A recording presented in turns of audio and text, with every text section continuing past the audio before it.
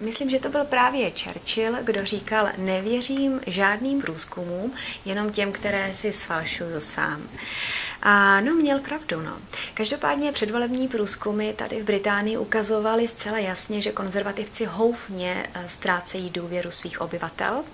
A také ukazovali, že laboristi si také v tomto smyslu nevedou moc dobře, i když ztráceli, nebo ztráceli, ztrácejí malinko méně než konzervativci. A raketově vyletla nová Brexit party, tedy strana Brexitu, a sociální demokrati, tedy tady liberální demokrati, víceméně zůstávali na těch svých plus minus 8-9%. Taková byla situace podle průzkumu. No jenomže teďko už konečně víme, co se děje, protože prostě volby jsou směrodatné a my tady máme volby. Ve čtvrtek se totiž tady konaly volby a to byly volby komunální a to ve většině regionů v Anglii a severním Irsku, tedy ne Skotsko a ne Wales a ne v podstatě víceméně celý Londýn. Musíme samozřejmě jednat pořád, že to je relativní, ale myslím si, že to dává dost, velkou, dost velký vysvědčení. Co se totiž stalo? Stalo se něco skoro skandální normálního, um, ovšem ne nečekaného. Na neštěstí se opravdu potvrdilo to, co se děje, a čili, že politika ve Velké Británii se bude rapidně měnit a už začala. Za prvé, konzervativci udělali obrovský sešup, a přišli o celkově 1334 radních. Labornisti ztratili 82 radních, tedy trošičku méně, ale oni taky měli méně, ale stejně, mě, stejně ztratili méně než konzervativci.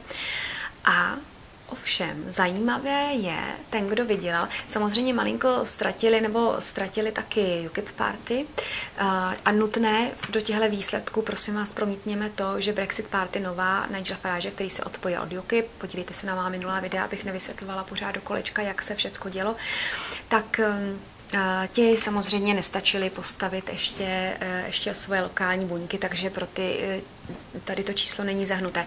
Ale je zajímavé právě vidět, co by se dělo se zemí, kdyby ta, tato strana vlastně nevzala, nevyluxovala e, tyhle ty všechny voliče naštvané na své politiky. Protože já vám teď řeknu, kdo získal ty voliče minimálně na těch v těch lokálních volbách tak prosím vás eh, v rámci komunální politiky slaví velký úspěch sociální demokracie. Omlouvám se znova, liberální demokracie, tedy liberal democrats. Což je teda něco úplně fatálního. Jak jsem vám říkala, liberální demokrati mají v mnohem velice podobný uh, program jako Labour Party. Uh, samozřejmě to vychází z toho, znova opakuju, podívejte se v mých minulých videích, Labour Party totiž se rozdělila v roce 1983 po referendu, které bylo 81, to bylo první referendum do Evropské unie, v roce, které vyvolali mm, labornisté, ovšem neuspěli, oni chtěli odjít z Evropské unie, neuspěli, protože tenkrát Eh, Britové se zvolili, že chtějí zůstat v Evropské unii. No a tehdy se právě od labournistů odštěpili ty liberální demokrati, kteří dodnes mají hodně společného, akorát od labournistů, kteří jsou rozdělení, co se týče evropské, vztahu k Evropské unii, na pro Brexit, proti Brexit, tak labournisti jsou rozhodně pro, pro Evropskou unii. Tedy proti Brexitu, definitivně. A zajímavé je, že oni opravdu slavili obrovský úspěch. Oni získali 703 křesel eh, na radnicích, což je, eh, což je obrovský a, a opravdu si dokonce podmanili, něk, že dokonce vyloženě i vyhráli v některých eh, regionech, které předtím neměli. Většinou to sebrali, lebo většinou sebrali vládu konzervativcům. Musím říct teda, že to je teda pecka. Nigel Farage totiž se rozhodl, že pro svoji Brexit party nebude už lovit jenom u nespokojených eh, voličů konzervativní páty, eh, konzervativní strany, eh, protože ta strana samozřejmě rozdělená, jedna chce Brexit, jedna ne, i voliči také.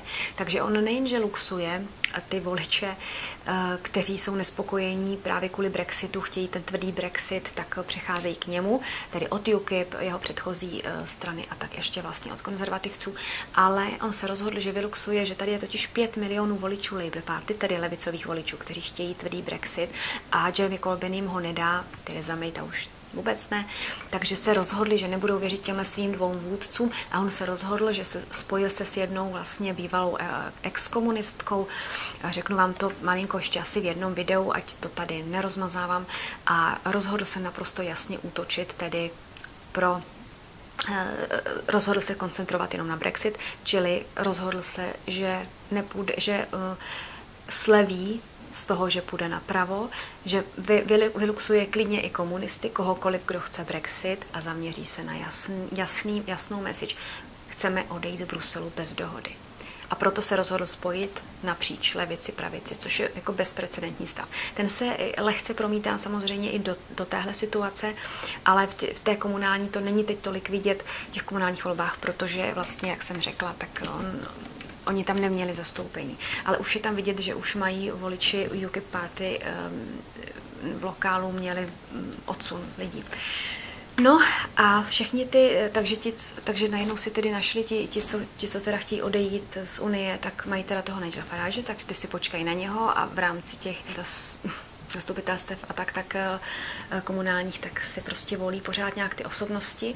Ale zajímavé je, že ty voliči, kteří jsou nespokojení v Labour Party, eh, co se děje a, a co se děje u konzervativců, ty voliči, kteří chtějí zůstat v Evropské unii, tak ti prostě odchází evidentně k, Labour, eh, k liberálním demokratům, kteří, kteří opravdu, to je strana, která naprosto jasně říká, chceme Evropskou unii. Není to sice úplně nějak velká část, ale je to tady v těch regionech je to markantní. A zajímavé taky je, že docela posílila ještě strana zelených. Dokonce získala 100, 194 eh, nových zastupitelů což je asi zhruba polovina toho, co měla předtím, nebo takhle o polovinu víc, než měla předtím takhle. Um, takže k tomu, co měla, tak ještě si připočítala zhruba půlku toho, co měla navíc plus. Uh, tak to je taky dost zajímavý. Mimochodem, strana zelených je vůbec jako zajímavá, protože ta, zatímco v Čechách je strana zelených uh, jasně uh, proevropská, tak v Británii je strana zelených, jako tam se soustředí, zatímco česká strana zelených se už jako odklonila od zeleného programu a zamířila tak nějak jako hlavně pro uprchlíky a gender studies a všechno možné, tak přece jenom ta britská se drží hodně takový to těch věcí kolem životního prostředí. Pořád jsou tam i takový ty ochránci životního prostředí a tak.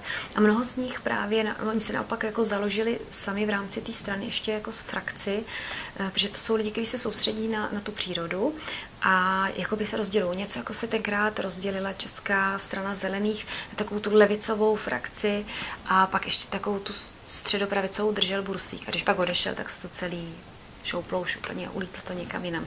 Tak takhle nějak teď bych řekla, že to funguje v britské straně zelených. Takže tam je to otázka, to jsou otazníky, ale tam je to taky spojený s tím, že, že hodně i třeba konzervativců se rozmýšlelo už, že bude volit stranu zelených, protože se jim líbí, ta, ta zelená politika je dneska moderní. A v momentě, kdy ty zelení jsou schopní uh, slíbit něco takového, jako třeba tenkrát vymyslel Bursík zelená úsporám, čili že to je zároveň i ekonomický a nějak to prakticky pomůže těm lidem a není to jenom na takový té bázi, přivážeme se ke stromu a budeme ječet, nebo si pozveme Grétku, aby tady jezdila vlakem a ukazovala soudruhům z Evropské unie, aby nelítali letadlem, tak jakmile prostě to zasadíte do nějaký reality, tak eh, reálního prostředí, tak, tak máte šanci fungovat. Takže eh, o tom je tady ta strana zelených. Takže eh, pozor funguje pořád jinak, než řekla bych o hodně jinak než v Čechách. Takže tady já nemůžu úplně soudit, teda jestli v těch uh, regionech, z toho důvodu, já to vykládám proto, že vám chci říct, že já nemůžu soudit podle toho, jestli v těch regionech oni volí pro nebo proti Unii. Tam si myslím, že budou asi jiný aspekty. Uh, a ještě jedna taková vtipná věc, prosím vás, tady, vy, tady můžete vidět lístek. Mnoho lidí totiž uh, pojalo také ty, tyto volby jako pro vyjádření nesouhlasu. Tak za prvé, mnoho lístků bylo neplatných, neplatných hlasovacích lístků.